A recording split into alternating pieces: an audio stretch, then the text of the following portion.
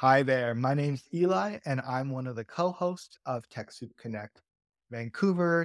This is a local tech for good groups, all under the umbrella of TechSoup. TechSoup is a nonprofit that helps other nonprofits get, implement, and use technology effectively. Today, we're going to be talking about accessible online learning. And to do that, we brought the expert in, Leah Chang from Leah Chang Learning. Leah is a CEO and she's dedicated her last two years of her career to educational leadership. She founded the Leah Chang Learning in 2019, where she and her team have developed curriculum for many sectors on complex, on complex topics. As their lead instructional designer, she's adept at distilling large concepts into digestible learning opportunities. And as their lead technologist, she's passionate about supporting organizational development and change through digital adoption and enablement. I'm going to share a little bit about my team and what where I am and also I'd love to know where you are. So my territorial acknowledgement is something I'm just learning about. I moved to Salt Spring Island recently. I'm in the Gulf Islands and this is shared uh, community space of the Coast Salish peoples and the Halkomelem uh, peoples. Yeah, really honored to be a new community member here. And I, I definitely want to make sure that this talk is going to be useful for you and applicable. And I'd love to know if you have any burning questions about accessibility, online learning. I'll try my best to answer them. And I'd love to see lots of questions in the chat. So feel free to add them in anytime. Uh, we'll pause once in a while and also, if you have a question and you feel brave, if you want to go on, off mute, just put up your hand and Eli can help me make sure we're engaging the community. So don't be shy. Yeah. Okay, great. I see some questions coming in. Awesome. So first of all, I just want to say thank you to TechSoup. Thank you to Eli. Thanks to you folks. I, as a sort of a, a new consultant in the nonprofit and online learning space, bought a lot from TechSoup and the, the local communities and meetups back in the day. And so I just want to commend you for A, joining in, being part of these conversations. So much is out there nowadays in terms of AI and online learning and how do we manage with all this new technology. I think it's really important that we uh, leverage our community and our, our connection. So thanks for all of you for jo- joining and, and feel free to share any tips or tricks um, or questions in the chat anytime because that's the whole purpose of this. So please do. Uh, I'll tell you a little bit about our group. So LCL is an, an online consultancy with many people across uh, Canada, but we provide services such as supporting organizations with their accessibility strategy, uh, in particular, how it relates to online learning. We design learning products. We support uh, organizations with the technology and building tech stacks that make sense for them and how they want to deliver online learning. We design curriculum and we get to work with some amazing partners across the country. So you'll see some pictures here of us supporting accessible employers in British Columbia in various ways. Uh, what I'm going to do today is share a little bit about what we've learned and things that we're curious about, things that we keep growing and evolving in. And of course, we're not perfect in everything. And so it's important for us to keep growing together. And I, I just want to say that we we love working with the clients that we have and the projects that we've been on. And we're learning so much as we grow with these organizations. So we, we tend to work quite a lot with organizations that support mental health, as well as uh, people on the spectrum, people who are neurodiverse. We do a lot of inclusion in the workplace. And it's been such an exciting ride. We've loved learning and growing with these organizations. If you have any questions, feel free to ask me anytime or connect with me afterwards if you want to know more about what we do but I'd like to share my team and company's accessibility statement with you. And I'm going to come back to this at the end, but at LCL, we are all about removing barriers to online learning. So that's like a pretty broad statement. And we're going to talk a little bit about what online learning is and what those barriers might be. But what that means for us is that we want to design learning that's accessible and optimized for everybody. And so, what that means is we apply various different frameworks to make sure that learning experience is optimized. And hopefully, you can take some of these away with you and, and take them back to your organization today. But Some of the concepts we'll talk about that we include in our accessibility statement are things like universal design. So as I read these out, I, let's just practice this. Has anyone heard of universal design before? If so, you can just raise your hand and we can see it like that. Or you can use the chat. Awesome. And if you haven't, that's okay. We're going to talk about it today. These are concepts that you could use to embrace in your work. What about preferred language such as person first or identity first language? Are these concepts or terms you've heard before? Great. We'll talk a bit about that. Basically, it's now no longer one size fits all. We use the terms that people prefer. and We ask them what they prefer. Some groups prefer to identify as uh, person first, some prefer identity first. And so we, we just ask. we talk a lot about assistive technology and what that is. We support neurodiversity. We try to embrace the neurodiversity and the, the divergence that we may have. And lastly, we embrace allyship. So we work very much with our communities. We don't just work about them. And we'll hopefully talk through some of that and, and how it applies to your organization today. So that's our accessibility statement. So, what are we going to do in this next time together? We will talk about some sort of frequently asked questions when it comes to accessibility and online learning. We'll use some terms, we're going to talk about some tools, and we're going to probably cover a whole bunch of formats and delivery methods. If at any point in time I'm, I'm speaking too fast or you have a question like, hey, what is that? Please let me know. And I'd be happy to pause. Um, there's lots of terms when it comes to e learning or asynchronous or synchronous learning. So there are many different ways to name and to talk about the same thing, the same concepts. I might use a variety of terms today but we will not be talking about website accessibility from a web development or sort of tech perspective. I am not a web developer, nor am I a web accessibility expert. However, I can tell you what I've been learning about those things and what applies to, to the work that we do for nonprofit organizations.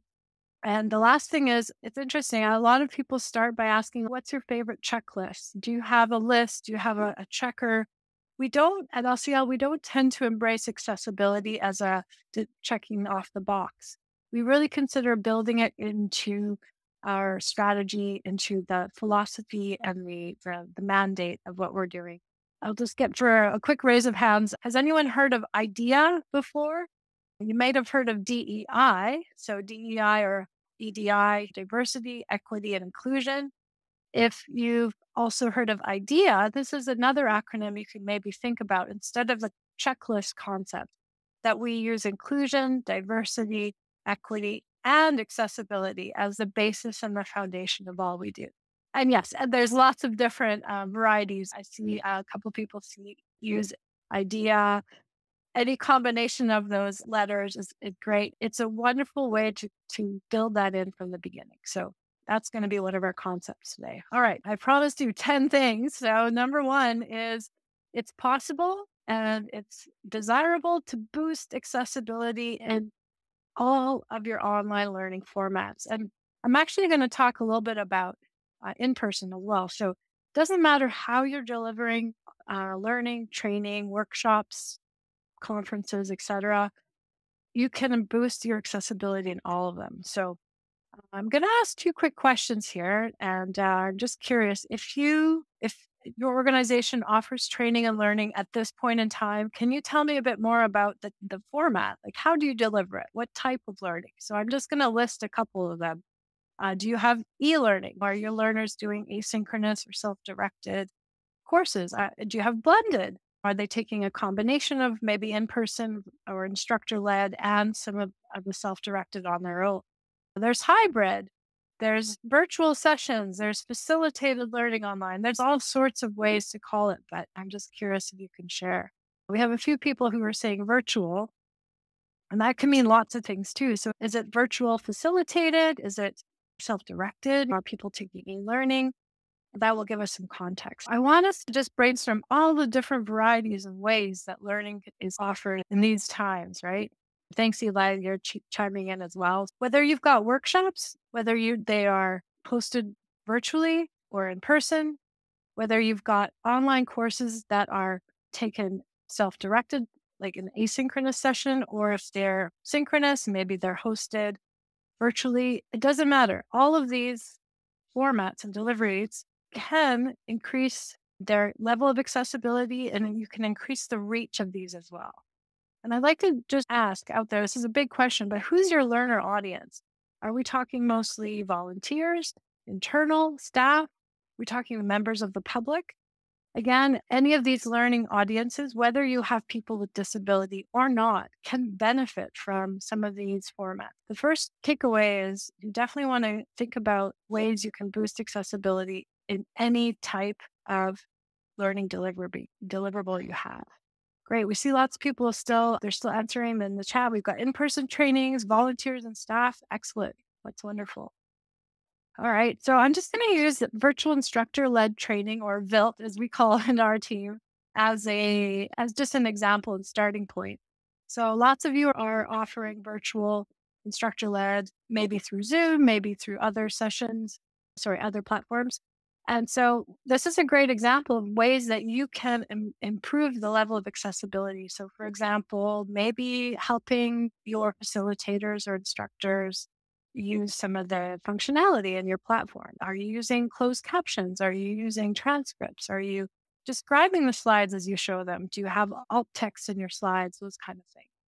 And are you embracing ways to provide more accessibility in your handouts or in how you engage people in the session itself? So there's ways you, you can increase online learning, be it with people in a facilitated situation or not.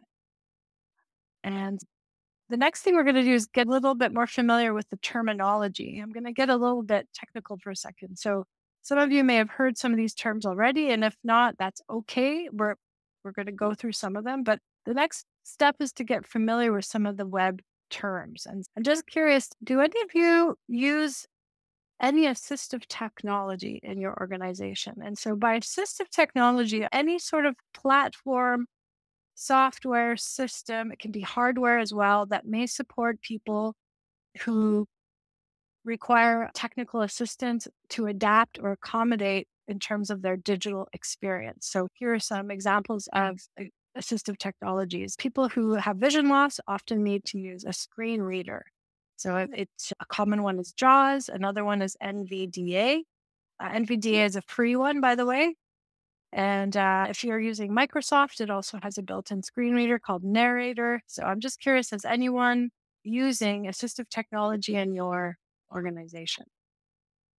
All right. Nobody has their hand up. So that's okay. That's that's fine. Does anyone know of their learner audience who might need to use this?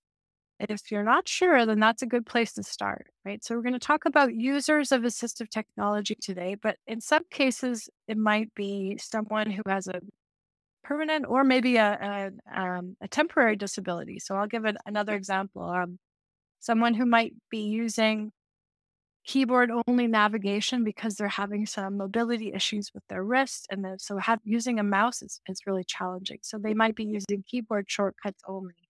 Or someone who um, does not have the use of their arms might be using a sip and puff sort of cursor to move forward through the content. So that's another um, example of assistive technology. And uh, CART is an example of um, assistive technology that we're probably using right now, or if you're using uh, Zoom or other sort of platforms, uh, you can also have um, direct translation or transcription, I should say, and closed captioning of, of your your yeah. Thanks for participating there, Eli. That's great. And yeah, accessibility is helpful for people who have um, who may be born with disability or who have a temporary disability. And at some point in time, all of us are likely to experience some type of disability. For example, my vision is going these days, and I'm finding it really helpful to zoom quite big into the content, into the font size. And so that's how I'm using it. And that means that I should be able to read the screen as big as I need to, right? Lastly, I'm going to use the term WCAG or WCAG. Uh, has anyone heard of this before? Feel free to put your hand up. These are based on the Web Content Accessibility Guidelines.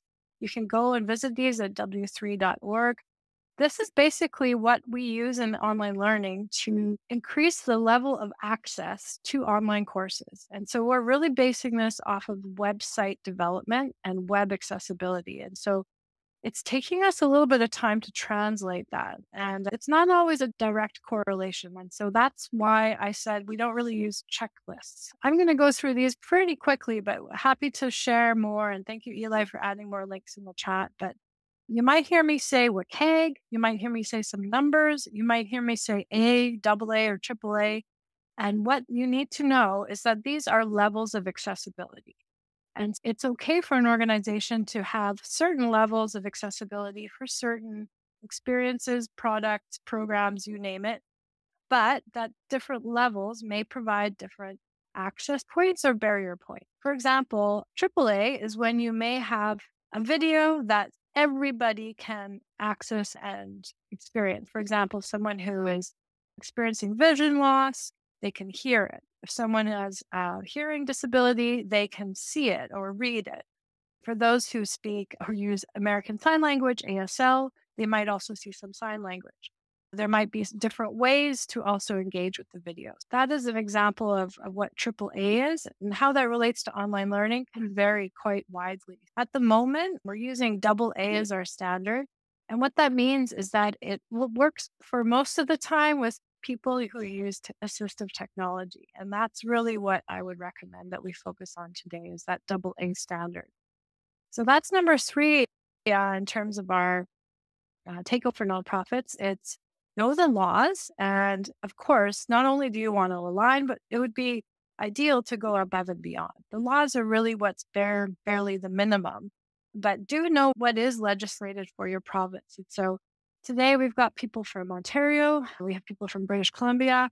It's fascinating because across Canada, we have had different journeys in terms of accessibility, how the government is supporting it or enforcing it or legislating it.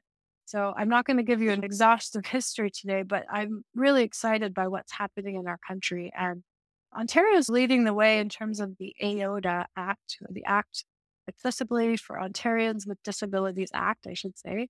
And then what's exciting is in British Columbia since 2021 and today, 2024, we now have the Accessible BC Act. What is the bare minimum that we need to do and, and, and, and share? And that's very similar to our website accessibility. So if you're not sure, no matter where you're from, look up your, your province or your territories level of accessibility for websites, and that will be the same for online learning. And how to interpret that and how to make that actionable and operational in your organization is that's the role that consultants like myself and my group play. Happy to support you there.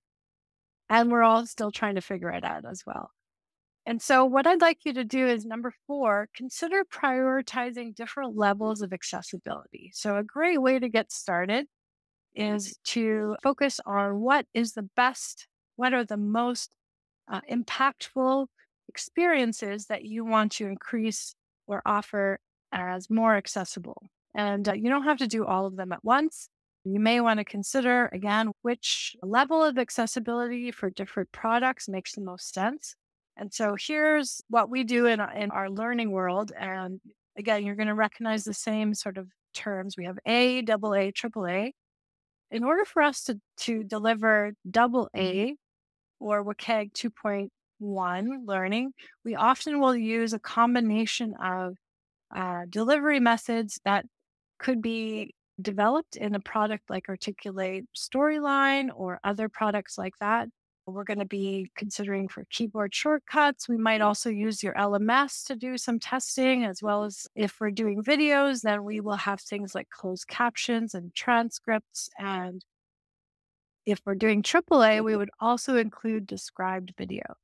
So these are just some examples of how a learning product can be ad- adapted or modified to meet different levels of accessibility. It is a journey that a lot of nonprofits are on. And so I'd just love to do a quick check in here. A lot of nonprofits may have a standard across the board, or maybe they're just embracing a few projects at a time that are different levels of accessibility. But who here is currently working towards making their learning more accessible at this point in time? And if you're not sure, that's okay too. You can also say that. I think I saw some comments and questions in the chat. And Eli, is there anyone that any question that you want to point out right now? Sure. We've got two questions in the queue right now. Oh, great. So the first one came from Alyssa, who's saying, Are you able to recommend any plain language courses just with that particular kind of accessibility? Yes, I definitely can. We'll talk about plain language when we get into sort of the universal design principles and a few tips. But there are some certificates you can take now that are focused on getting better at plain language. And just for those of you who are new to the term plain language, it is a way to make your writing and your uh, the, the words we use in, in our content to be more accessible. And what that means is usually a lang- writing at a language level uh, anywhere between I've seen grade six to grade eight or nine. And I'm going to come back to that one because I don't want to cite the wrong course, but I may have to get back to this person by email. I for some reason, the name of the courses I recommended are, are escaping me. But yes, we, that's no worries at all. And yeah, if yeah, we have some of those key links, we can even include them in the emails that come out later. We have one more question that came from Jennifer, and I think is also going to emerge through the course of this webinar today. And Jennifer says, I think this may come up in the presentation, but what resources are available to an organization as they work towards that WCAG 2.1?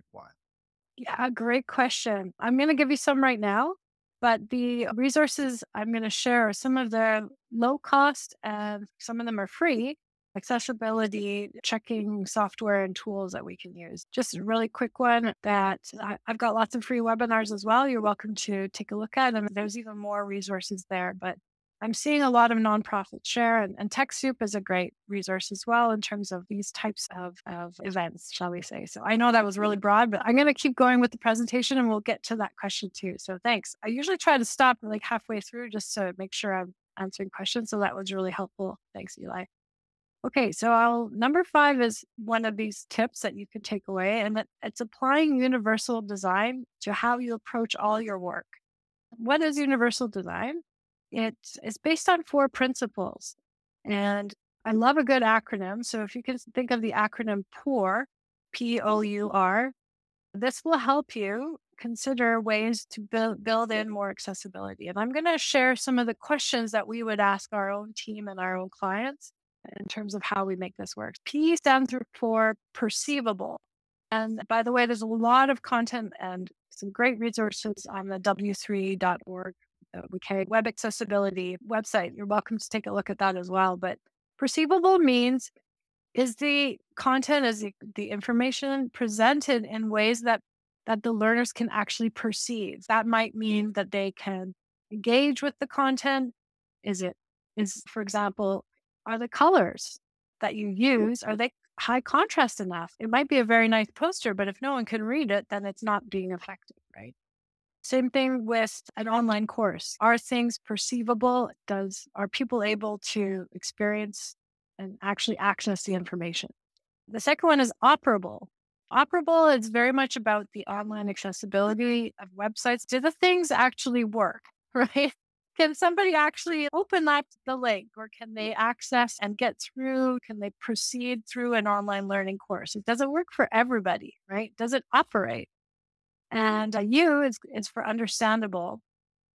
And what that means is for our team, we really try to take a look at have we optimized the experience for everybody, for the neurotypical and the neurodiverse. So for us, that really helps us question our content and how it's written. And I love that someone called out plain language resources. That's fantastic. So a question we would ask ourselves are, are these key messages of the course, are they coming across clearly? Are they are they written in a way that is lowering barriers and increasing access, right? And then lastly, and this is the most open to interpretation, it's robust. Robust in a web or development IT kind of background means are we leveraging the technology in the best way possible to support their experience or their use, like the user experience, right? And so what we, t- we what we do in learning is we take that and we say, are learners able to drive their own experience? Are they able to take the time they need, action what they need when they need it? And so an example of this is we don't use any timed interactions or we don't force the learner to do things in a certain order. We want to make it open. in the sense that the learner knows how best that they may need to support themselves for that experience. So we try to give a lot of options and choice. And I just want you to continue thinking of these things as we go through a couple examples. An example of perceivable fonts, colors. Brands are shifting towards being more high contrast. So perceivable could be are people able to actually read the content. And obviously, in this case, this example is for people who have uh, vision. But uh, which slide is easier to read? the one with a higher color contrast is going to be easier, right? Also, think about your font. How simple is it to, to read your fonts? Can you determine between numbers versus letters? Those are all things to consider. And that's an example of perceivable. Another one is using images. This is a slide with no images. If I was going to give you a copy of my slides, I would make sure to add alt text. And alt text is a way for people who use assistive technology, screen readers, to maybe give them the context of the image and there's some good ways to describe alt text and bad. So here's an image. I've got an example of a grizzly bear. Now, if I was writing a course about grizzly bears, I would want to be really specific about how I describe the image, right? Uh, if it's just decorative, I may just keep it shorter. And again, the context of the image is really important. So I'm just curious here is anyone using alt text in any of their website or online learning? And eh, do you have any of these challenges in terms of learning how to write what the alt text should be? We work with a lot of people with disability who have shared with us that alt text is really all over the board. What's really nice, and you've probably noticed this on LinkedIn, is people are starting to put more alt text describing the images. And there is a sweet spot. I've used a bear here because I like the analogy of, of uh, Goldilocks and the three bears. But just think about what is the just right level. Uh, it's great to have alt text. You don't always have to have super detailed alt text. It needs to support the learning, right? So if it's if it's too long, it's going to be overwhelming and cognitively overloading. If it's too short, we're not giving enough context. And so just finding that just right level of description of your images is really important. Another uh, example that we already talked about is video. What level of accessibility do you want to provide your videos? I don't know about you folks, but I love watching video with the closed captions. And it's nice to see that on TikTok and Facebook and all sorts of the reels nowadays is that people are putting in not just the transcripts and the closed captions, but they're hard baking that into the, everyone's experience. So that's a great example of universal design. If you want AAA, or if you're curious what the difference is, fully accessible videos will have things like an ASL interpreter as well as a transcript that people can use and closed captions, of course. We're seeing a lot of amazing things with AI these days so that we can make our videos more accessible and share them more freely with everybody. So, another example of op- Opera, how does the course actually work? So, this is an example of e learning. And what we do is we make sure that our um, e-learning users and testers can can navigate through the entire experience uh, using the assistive technology of their choice. So we test it with different products and different software. Uh, we might be using specific e-learning design and development software like Storyline or, or others with that intention. You'll see here then my first bullet that I've put we often combine an e learning development tool with your LMS because, of course, to be accessible, it needs to also it needs to be built accessibly, but also it needs to be shared on an accessible platform. And I'm just curious here who is using an LMS at your organization? And for those who are new with that term, LMS means learning management system. So if you've ever taken an online course with a university or college, they are delivering that experience through a learning management system. So, one example for is you may not see any drag and drop or matching. Anything that has to grab and hover and pull something across the screen is not going to be accessible. And so there's other ways to build that type of content that is still interactive, that the learner can drive, and that gives the learner options in terms of how they access the information. And yeah, thanks for your question, Ben. A CMS, well, An LMS is a learning platform that that hosts e-learning. E-learning files often developed in SCORM, and it's different than a content management system or a constituent relationship management system in that it also tracks and um, can give you more reporting in terms of who who has taken the learning, what have they consumed, or, or if there's any grades associated. So an LMS is often much more associated with delivering, hosting, tracking, and reporting on learning experiences. A little bit different than a CMS, but great question. Accessible online learning will not have timed activities. That would not be operable or robust. And uh, we allow free navigation so people can go back, they can look at something more than once. And I recommend avoiding some full narration. There, are a lot of studies are showing that learners prefer to consume learning content in various modalities. And so allowing choice is really important. And uh, we'll just go through a couple more. U is for understandable. And thank you to the person who asked the question about plain language. That was really great. So there are two resources we use a lot, and that is our team is all uh, improving and, and constantly developing our skills in plain language. And I'm glad you brought up the question of accessibility, sorry, plain language certificates and courses. We use two checkers. One is Flesch Kincaid and one is the Hemingway app. These two, uh, they're free online tools that allow us to just check any sort of content we've written and make sure that we're not using sentences that are too long or if we're using too technical terms or that, that kind of thing. Uh, another thing is um, using AI to help us reword, rewrite, and um, make make something more plain language. Um, there's lots of new new um, approaches that way. We also want to consider writing content for the broadest understanding. For example, anything that helps people who are English English language learners or people who uh, maybe have learning disability or maybe who are just busy. I don't know about you folks, but I know that I appreciate seeing bullets or white space on the page. These are all things that are going to help everybody with uh, context and understanding.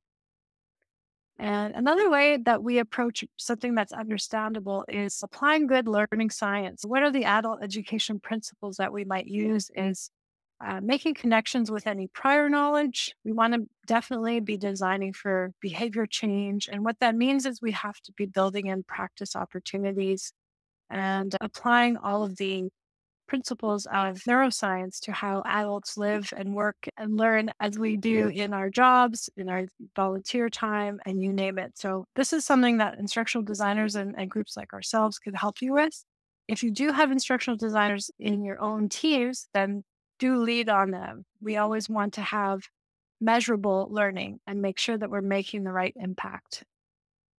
And lastly, is robust. And I'm going to give you two examples of, of things that are robust, but I highly recommend you you visit the inclusive website, which is called the inclusiveworkplace.ca. It's in French and English. It's one of the client projects we've been working on. And what we what we did actually is during the pandemic, they had lots of funding to support people who have a disability or people on the spectrum to find and maintain meaningful work. And using our employment tools. What we actually did is instead of putting all of their learning experiences in an LMS, we did as we started publishing some of our e-learning to HTML. And what that means is that these are hmm. ungated, open access experiences anyone can use. One thing for nonprofits profits is you might want to consider ways that you can ungate your learning. What that means is you might have to think about and be a little bit more creative in terms of how are you providing and which platforms are you using to publish your learning. Uh, again, those of you who have LMSs, you probably, I'm going to guess, have some a limit to the number of people or users that could be in your system. And another way to consider and boost your accessibility at your organization is to choose wisely. So choose technology that is accessible. And all of your technology should and can provide this. It's a question of us asking and insisting that it be accessible. So got a very small picture here, a couple of different LMSs out there. Moodle, or you name it. There's D2L. There's a bunch of different, mm, excuse me, tools you can use to deliver online learning. But uh, not all technology is going to be WCAG 2.1. So really what I've discovered and what our clients have I've also seen is make sure you work with your vendors to make sure that you're using their accessibility uh, functions and also remember that whatever you put into it needs to also be accessible. So just like a website, whether you're using WordPress or other tools like Drupal, it's how you use it, what you put into it. There's a lot of the human element that's still there, right? And I'm going to quickly go through three more points. How are we doing for time? We've got a few more minutes, but I'd love to to just acknowledge that nonprofits are doing something super well, way better than anyone in, in the private sector, and that's engaging community. All of us as, uh, working with nonprofits are already doing a great job of working with the people that you want to serve, your constituents, right? So, what that means in online learning for you is that you can leverage asking for real stories. You can work with people who will test your content. And here are some examples of some of the videos that we've been creating with, with our client at Inclusion Canada. And uh, you'll see that we have stories, we have features, we've got panelists. We work with the communities that we want to serve. And in, in some cases, we've even included them as part of our SMEs or subject matter experts on courses. Here are a couple ways that we work with members of the community is we might ask for real life humans to, to test our courses. And we might be in a, a template or maybe in different rounds of review. But we definitely want to conduct live accessibility testing with actual people and not just use the computers to check it. So that comes back to my statement earlier, which is we don't just use a checklist. We actually want to make sure that it's meeting the needs of people in the community that that we're trying to serve, right? Another thing is we work with people with living experience. And so uh, I know that's something that nonprofits do really well. And I would just say continue doing that. So ask for feedback, both in terms of your content or your drafts, as well as in the technology that you'll be delivering it in. And also make sure you're asking for their perspective. You will have a much better t- engagement and, and buy in as well if, if you've engaged with the community from the beginning. Great. Uh, we've got a few more questions, and I see uh, there's some nice questions too about LMS um, in the chat. So I'll get to your question in a second. But um, another way to, to boost accessibility is to build it into your project management.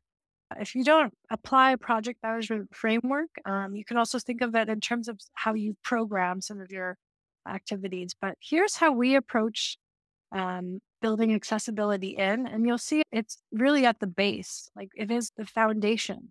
We want to make sure that it's woven throughout all stages of a project. And what you're seeing here are some of the steps that we would use for an e learning development project, talking about the scope and then how are we going to measure, all the way down to designing the content, building a prototype, and then how do we publish it. There's always going to be elements of that universal design built in.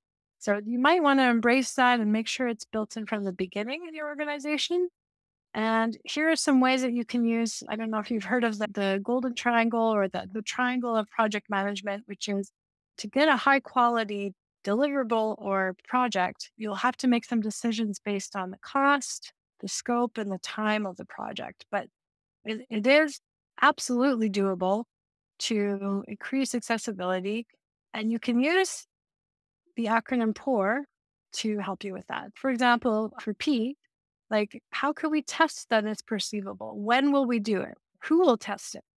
Uh, is a great question to ask for any project when you are planning it out or when you're managing a project and, and as you coordinate the work, right? Another example with O is, eh, you know, does it actually work? Is it operable? Who's going to test it for us? What do we do if the technology doesn't work, right? So thinking through that in the project management framework is really helpful as well. I'll let you consider how you might use understandable and robust. But one way for us is we always like to build in a little bit more time to the project because anytime you include the community or people's lived experience, you want to allow for that time to for them to give the feedback. So that's my tip for you is definitely include some more time in your project, especially if you're new at building online learning uh, products that are accessible. And all right, we're getting to the question about some tools. I'm going to um, answer uh, Rachel's question about LMS. There's lots of to- uh, LMS that are uh, with 2.1 nowadays and are moving towards 2.2. Uh, some in Canada, and lots in the United States as well. But here are a couple tools that we use. Uh, a lot of these are uh, low cost. Some of them are free. Some of them are paid. We mentioned the Hemingway editor earlier. The Wave Web Accessibility Evaluation Tool is a really great checker. You can download that for free. There are two really good Canadian companies. Grackle Docs is a it's a nice accessibility tool. It's a Google Chrome extension. For example, any Google document that we have in our uh, Google Workspace, we can apply um, the Grackle Docs plugin and make sure it's accessible. So we create a lot of uh, PDF UA or uh, universally accessible PDFs in that way. Uh, when we do slides, when we do um, documents, we can also check them ourselves and make sure that they've been accessible. We also sometimes work with Able Docs. So there's lots of good tools out there. And it's really amazing organizations like Fable who are using people with disability to be the digital developers and testers of digital projects and pro- projects and products. So if if, uh, if you have any other questions about different tools you can use, let me know. If you're, you're a Microsoft group, then Microsoft has lots of free accessibility checkers as well. And if you are a Google Workspace user, then there's there's other free tools. And thank you so much, Eli, for adding some of those into the chat. I appreciate that. Yeah. What I would do is um there there are lots of LMSs. I'm, I'm just trying to answer Rachel your question. Very adaptable. So which LMSs have I found that are very adaptable and meet all most of the cornerstones of accessibility? There's quite a long list of those, but again, it's going to depend what you put into it. A lot of the LMSs, such as I use Learnupon, we're working with Docebo, they they will be accessible if you've optimized it that way. Again, it's really it's, it depends how you've implemented it, and that's again something we could talk about more specifically. I'd be happy to help you with that. The list is quite long, so I don't want to get into it here, but Again, lots of LMSs can be used with different levels of accessibility in mind, right? And so last my last tip for everybody today is make sure accessibility is part of your philosophy, the ground rules, your strategic plan. Maybe this is a good takeaway for all of you to go back and ask Does our organization have an accessibility statement or purpose? How are we building this into our workflows? But more importantly, how, like how is this a part of our organization's philosophy? And in the beginning, I shared our accessibility statement. We we want to use these these concepts to inform our work. And so if if this inspires you, you're welcome to revisit that with your group. And I'm just going to reread the first line, which is that LCL, we're really committed to helping organizations like yours. We want to remove the barriers to online learning and we want to increase access. And so we try our best to design an experience that's that's optimized for everyone. And so we really do use those concepts of universal design to do that. And so I'll quickly summarize the takeaways, but more important is what can you do with them? So I'd love to open it up to everybody. We looked really quickly at a whole whack of concepts. What I am curious about is do you have anything you can action right away? Or maybe things that you'll take back to your organization and maybe ask about or investigate. So we talked a little bit about the following things. So we talked about looking at increasing or boosting accessibility in any shape or form of, of your learning and training deliveries. And that can mean everything from asynchronous to synchronous. There are ways to boost that. And number two is just getting it familiar with terms of web accessibility, the different um, different requirements and what those mean, and getting familiar and aligning with the accessibility legislation in your province. Also, considering the level that you will prioritize. I don't think it's necessary, and nor is it practical to aim for AAA in everything that you do. But you may want to consider increasing the accessibility of your videos first, or perhaps of certain programs that you're offering first before others and maybe you take them from level A to double A. So make it practical and, and relevant for your organization. Uh, number five, we spent a lot of time on because there's four things about universal design that you can remember easily using the POUR acronym, P O U R. And I hope you can remember those perceivable, operable, understandable, and robust. Uh, number six is no matter which vendor you're using or what products you're using, make sure that you're asking, hey, how is this accessible? How do we turn on those accessible function tools or parameters or settings? Maybe it's about changing those tools or leveraging the ones you have in better ways, right? Number seven is eh, continue engaging your community. Do not work uh, without real life humans to give you input and feedback and and also help you test and help you um, improve your levels of access to everyone that you're serving. And number eight, hopefully we've inspired you to build accessibility into the framework of your projects and think about how that can be the foundation of the work you're doing. And then it will carry forward through the rest of the project. You can lean on free and low cost accessibility tools. We gave you a few examples today. Our team uses the Wave webbing tool quite a bit. And lastly is consider how you can add accessibility to your strategic plan and, and, and particular your educational mandate. So I'm just curious if anyone's brave enough to mention anything that they're going to take away in terms of actions. I'm I'm, not, I'm also going to pause here for a quick minute just answered all the questions in the chat. So Eli can help me out as well. So if I wanted to contact you, should I send you an email? Should I schedule a call? What's the best way to make that happen? Yeah, we'd love to hear from you. You're welcome to visit our website, leahchanglearning.com. We're always getting requests. So, drop us an email or you can fill out our forum. Tell us a little bit more about what we can help with or what you're curious about. Uh, and if we aren't able to, we can definitely put you in touch with other services, resources that you can use. For us, it's really about building the capacity across nonprofits to really make this more broadly embraced, I guess is what I'm saying. like everyone can do this, and we'd like to lower the barriers for you as well. So give us a call, send us an email. Be happy to hear from you. Awesome. Yeah. Then thank you all for joining us here for lunch today. And Dalia and team, really grateful for you to come back as a repeat presenter and, and go uh, deeper into mm. this particular aspect of learning management programs and systems.